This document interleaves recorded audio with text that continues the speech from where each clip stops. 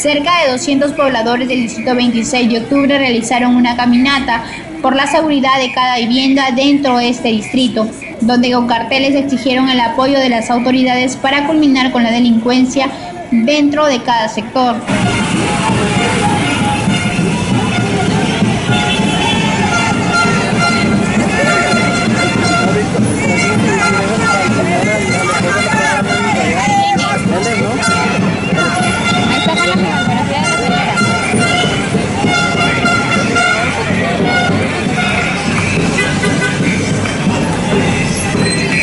Apoyo policial, estos manifestantes llegaron hasta el frontis del Poder Judicial en Piura, donde expresaron su pedido de lucha por la muerte de jóvenes y madres de familia víctimas mortales de la delincuencia.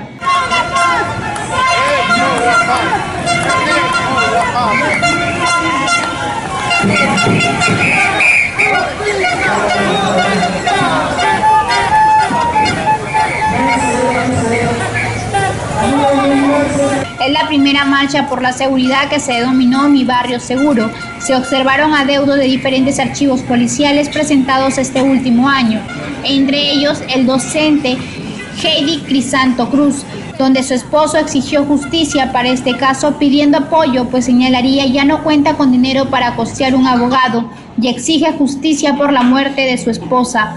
Lo primero que nosotros, lo primero que tenía que ver es sobre sobre la violencia de acá que hay en, el sector también 26 de octubre. Y quizás toda la población de, Piura. Lo que quiero es que me hagan justicia para mi esposa que me... Su esposa fue víctima de dos delincuentes en el De dos delincuentes que la mataron en el grifo. Y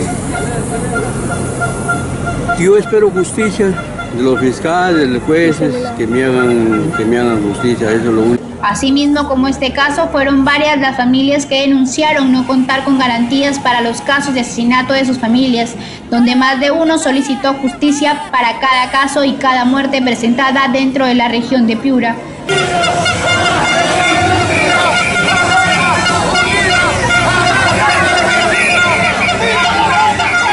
En las próximas horas, Piura nuevamente reunirá a la población de todas las provincias, quienes se unirán contra la ola de delincuencia que a diario se presenta en nuestra ciudad.